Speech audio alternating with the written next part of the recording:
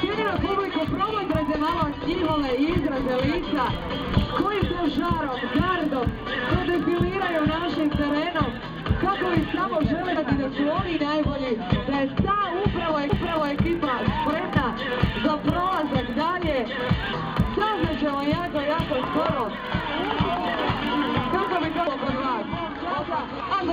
vrijeme kada se naš natjecatelj smijesti, dajte mu malo podrške! Obrani s tobom!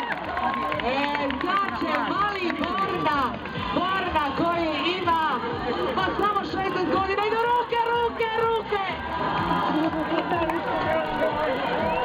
Fantastično! Jel vidite da za jadranske igre nisu potrebne 90-60-90? Da pače, nove proporcije u ovom izdanju uspio je! Čekaj, čekaj, čekaj. Cijenjena publiko, promotrajte malo njihove izraze lica koji se žarom, gardom predefiliraju našim terenom kako li samo žele pokazati da su oni najbolji, da je ta upravo ekipa spremna za prolazak